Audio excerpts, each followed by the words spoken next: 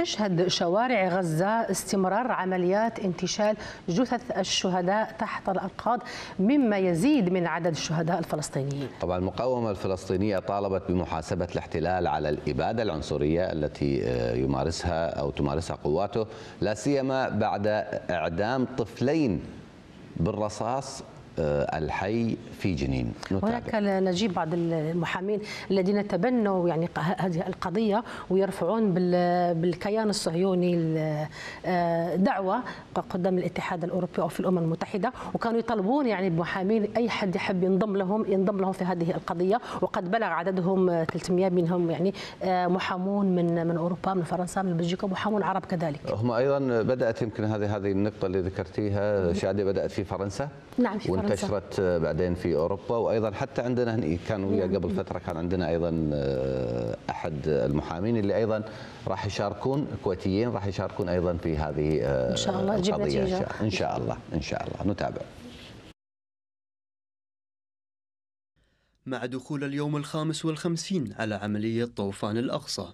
سلمت المقاومة الفلسطينية مساء الأمس عشرة من الإسرائيليين المحتجزين في غزة للصليب الأحمر في الدفعة السادسة من صفقة تبادل الأسرى ضمن اتفاق الهدنة الإنسانية.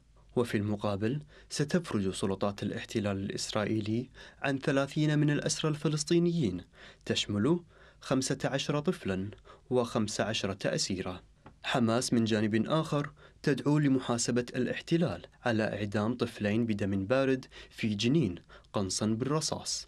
خلال عملية اقتحام جديدة شهدت اشتباكات مع المقاومة الفلسطينية.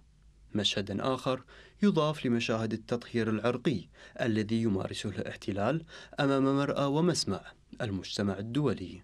وفي غزة انتشلت فرق الدفاع المدني نحو 250 جثة للشهداء من الشوارع خلال الأيام الخمسة الماضية من الهدنة المؤقتة فيما لم تتعرف فرق الإنقاذ على هوية الجثث بسبب تحللها لمكوثها فترة طويلة ملقاة دون أن تتمكن الفرق من انتشالها بسبب حدة الغارات الإسرائيلية والزحف البري.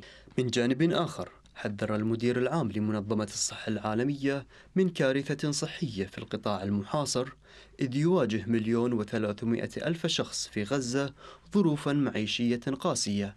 تزيدها حدة نقص الرعاية الصحية والمواد الطبية واكتظاظ المستشفيات بالجرحى والمصابين.